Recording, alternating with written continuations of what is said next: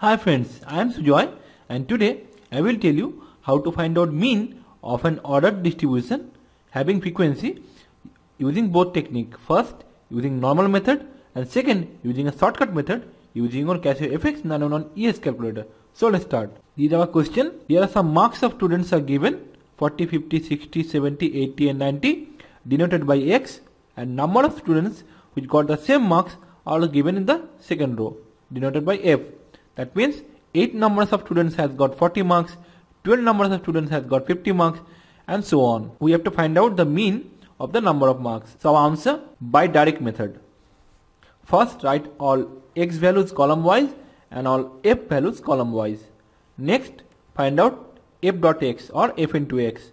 Just multiply 40 into 8, 320, 15, 12, 600 and write. Next find out sum of f. So sum of f equals to sum of all the numbers equal to 60 and sum of fx is the symbol of sum equals to 3660.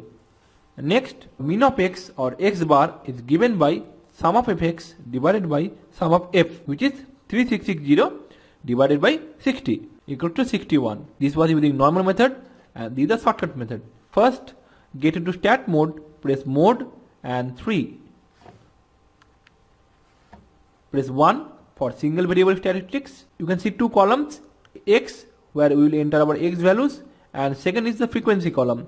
If the frequency column is not visible on your calculator, press shift and mode, joystick down, press 4 for stat and press 1 to on the frequency column and it will be visible.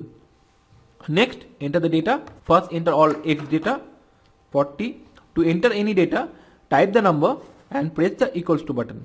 It will be entered 50, 60, 70, 80, 90.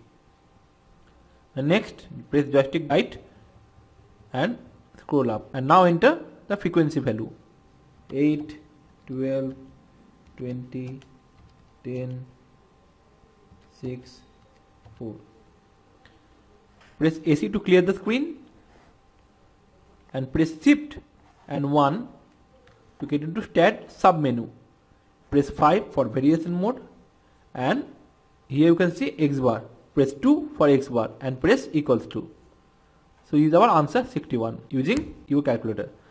So how about the trick? Let me know in the comments below and I will upload another video in which I will tell you how to find out mean using weighted arithmetic mean method. So if you want to watch any of my previous videos and my upcoming future videos, please visit my YouTube channel. The link is given in the video description, also embedded in this video. And if the video has helped you, please help me by liking the video using the thumbs up button below and don't forget to subscribe because by subscribing you can stay connected with me and get regular updates from me. So thanks for watching. See you in my next video.